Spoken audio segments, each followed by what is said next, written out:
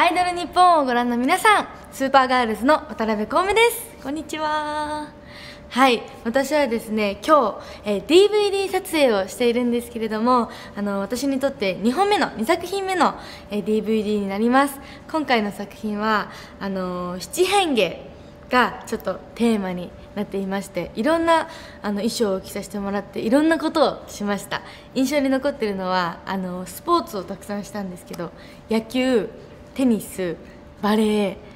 かな？たくさんこういろんなロケーションでやったんですけどやっぱりグアムは本当に気持ちがよくってあのどのシーンもすごく楽しみながら撮影させていただきました。あのもう全力で楽しんでる様子もあればちょっと決めて大人っぽくやってる部分があったりとかいろんな、面を一面を見れる作品になってると思うのでぜひ一度とは言わずたくさんたくさん見てほしいなと思います。皆さんぜひ DVD よろしくお願いします。それでは以上スーパーガールズの田辺香美でした。バイバーイ。はい。撮影中一番嬉しかったことはですねやっぱりなんといってもグアムに行けたことです。まず。あのー海外何度か行かせていただくことはあるんですけどこうやってソロのお仕事で行かせていただくことが初めてだったりとかグアムは初めてだったので行けてすごく嬉しかったです。今回の撮影で困ったことはですねあの DVD 撮影っていうのがあの、まあ、2, 2作品目にはなるんですけどこうドキドキしながら毎回こうどういう風に動いたらどえ映像で伝わるんだろうっていうのが分からなくてすごく毎回毎回緊張しながらもすごい難しかったです。今回の作品で一番気に入っているシーンはですねあのウェディングドレス風の水着を着させていただいて撮影したんですけどそれがこうなかなかない衣装だったりとかすごく素敵な場所で撮影ができたのでお気に入りのシーンです。グラビア撮影で気をつけていることはですねあのー私すごく食べ物を食べたらすぐお腹が出るんですよ。で分かりやすくポッて出ちゃうのであのグラビアの時はできるだけ極力限界までご飯を食べないように我慢しようっていうのは気をつけてます。なのでどうしてもお腹が空いたらあのチョコレートとかこうちょっと甘いものを入れてパワーをつけてます。自分がアイドルしてるなって思う瞬間はあのやっぱりライブでステージに立ってる時なんですけど本当にあのステージに立ってる時の自分はもう無敵だと思ってるんですよ。なんかあの普段の生活とは本当に真逆でいろんな人が自分を見てくれてあのこうなんだろう自分が自分じゃなくいい意味でいられる場所なのでそのステージに立ってる時はあ自分アイドルしてるんだなってすごい実感します。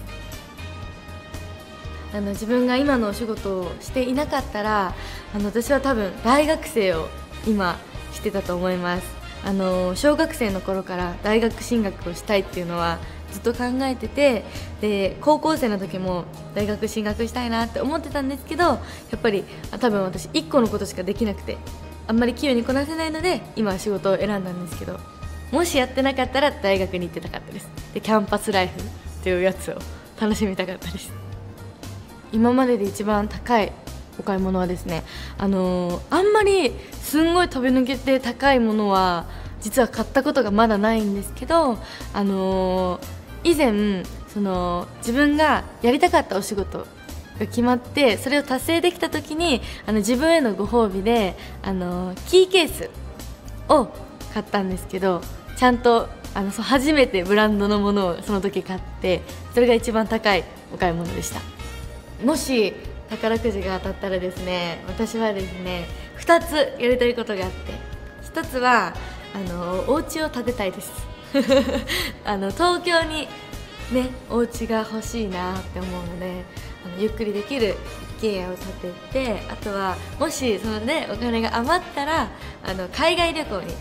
行きたいなって思ってますプライベートで海外旅行したことがまだなくってなのでしたいなっていう願望があります。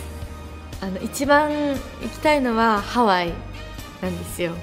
あのもうリゾートザ・リゾートじゃないですか。なのでのんびりあの海行ったりとか過ごしたいなっていうのとちっちゃい頃からずっと行きたいのはあのフランスのパリなんですけどエッフェル塔をねこの目で見たいっていうのがあるのでいつかいきたいと思います。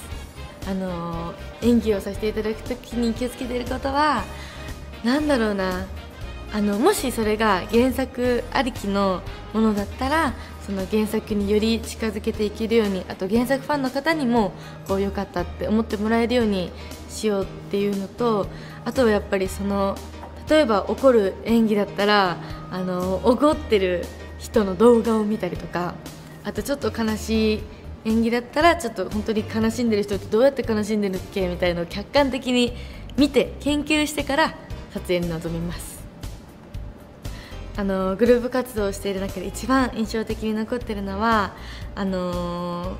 やっぱり一番最初加入した日なんですけど2014年の2月23日にあのパシフィコ横浜という会場で初めてあのライブに出演したんですけどその時サプライズ発表で登場したんですよ。なので本当に誰も知ってる人がいなくって本当に誰っていうレベルでちょっとアウェーなぐらいだったんですよ。でもそのこれからグループ活動が始まるっていう嬉しさと期待とでそのちょっとの不安がすごい入り混じっててめちゃくちゃ複雑な心境だったんですよ。それが本当に後にも先にもない感情だったなって思ってずっと忘れられない一日でした。はい。改めて、あのー、DVD を発売させていただきます、あのー、今までにないようなちょっとこう新しい一面をたくさん見れる作品になってると思います、あのー、ぜひとも動いてる自分はなかなかお届けできないと思うので DVD ゲットしてぜひたくさん見てほしいなと思います。そして、あのスーパーガールズというアイドルグループでも活動しているのでそちらもあのライブとかたくさんやってるので会いに来てくれたら嬉しいです。これからも応援よろしくお願いします。以上スーパーガールズの渡邉幸愛でした。バイバーイ。